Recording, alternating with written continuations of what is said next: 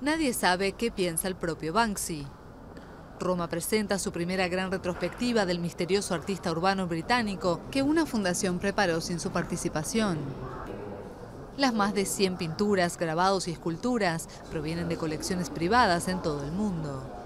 Expuestas como en un museo bajo el título Guerra, Capitalismo y Libertad, algunas han llegado a venderse por más de medio millón de dólares, mientras la identidad y el rostro de su autor siguen siendo desconocidos. Doveroso Pensé que era importante armar esta exhibición para divulgar este arte, que es un arte para la gente, un arte visual profundamente conectado con la forma en la que vivimos. Los encargados de la curaduría consideran que la muestra invita a reflexionar sobre los temas que han inspirado a Banksy, la guerra, el capitalismo y la libertad. la demostración que si noi este arte es la demostración de que si lanzamos flores en lugar de bombas y armas mortíferas, probablemente la vida sería mejor.